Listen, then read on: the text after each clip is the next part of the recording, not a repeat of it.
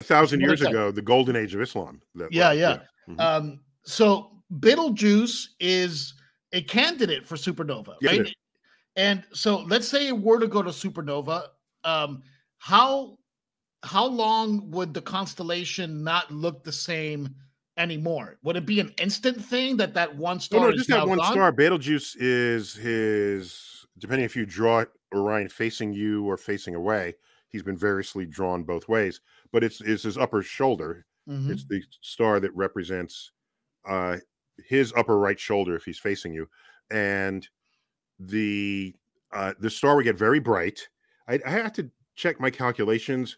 It should be bright enough to be seen in the daytime, but I have to check. It might mm. not be, but uh, it's a very knowable fact. It's just because I don't know it in this moment. Sure. A very calculatable fact.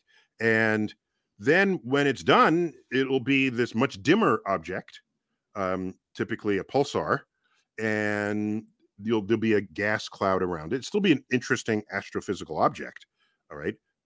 Afterwards, but it won't be the bright star that it currently is. But the rest of the stars will just be happy. They're, they don't care. But which is from from from our vantage point, how would would it take a week for us to no longer see the shoulder of Betelgeuse, or would it remain just slightly different? Oh no, no. Once it blows up, the, the star is gone the star is done. So you're going to see the light of the explosion for several weeks, and it'll just get dimmer and dimmer and dimmer until you just see the remnant of the supernova, which right. is typically a neutron star.